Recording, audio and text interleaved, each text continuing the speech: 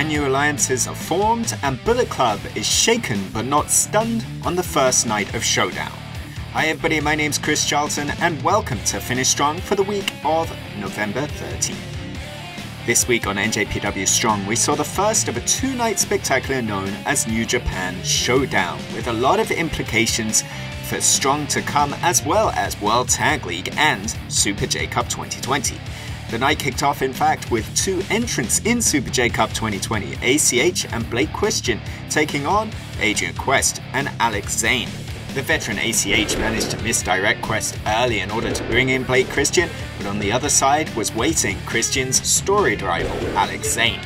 Innovative offense was the order of the day in the opener here tonight, but in the end it was Zayne that knew his rival Christian just a little bit too well able to reverse and counter Christian's pin into one of his own and pick up the victory for his team to kick things off. Speaking of teams, our next match between Fred Rosser and Filthy Tom Lawlor was supposed to be a one-on-one affair, and indeed that's what it was, but Tom Lawlor was accompanied by his own team. Yes, indeed, Team Filthy seems to be a force now on NJPW Strong, as Filthy Tom Lawlor was backed by JR Kratos and Rust Taylor.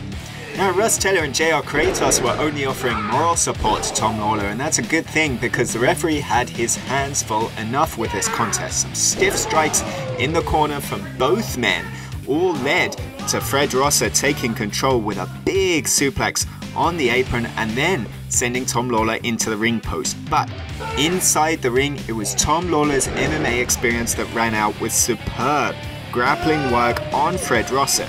Lawlor took control of the arm of Fred Rosser, and although Rosser was able to connect with a gut check, his follow-up Shining Wizard kick was caught into a brutal submission with all the limbs of Mr. No Days Off tied up. No, no choice for Rosser other than to verbally submit in what was what many, including Katsuyori Shibata, are calling the best match we've ever seen on NJPW Strong.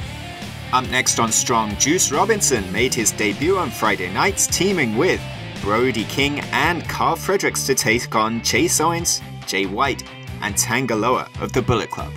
Carl Fredericks exploded out the gates to try and get his licks in on the Switchblade. Bullet Club took control though, but on the other hand, it was Brody King with insane power and taking a hoss fight to Tanga Loa. At the end of the day, it was Juice Robinson though, with a thunderous Pulp Friction delivered to Chase Owens and a powerful message sent to the Bullet Club. Keep it here for NJPW Strong, because you guys, whew, you're gonna get your ass.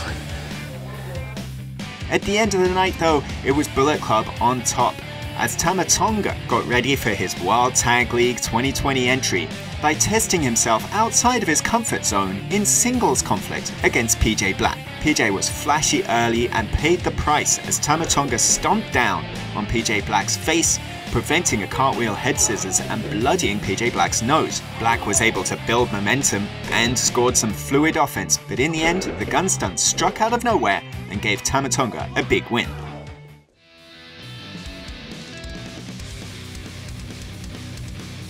We now head into night 2 of New Japan Showdown on NJPW Strong. Next Friday night, 10 Eastern, 9 Central, the DKC and Clark Connors will team up against the Riegel Twins in a rematch from a couple of weeks ago. After issues that stretch all the way back to Lions Break Collision, Rocky Romero and Rust Taylor face each other one on one.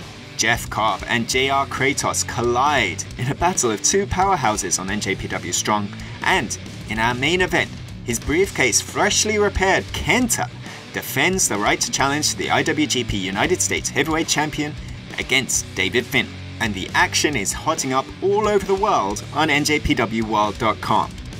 Sunday, November the 15th, World Tag League 2020 and Best of the Super Junior 27 kicks off with a huge 10 match card in Aichi.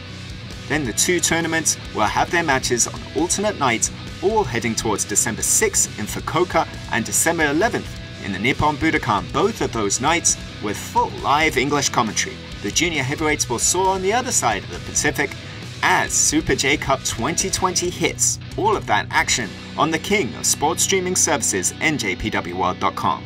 We've finished strong for another week. Until next time, go kigenyo, sayonara.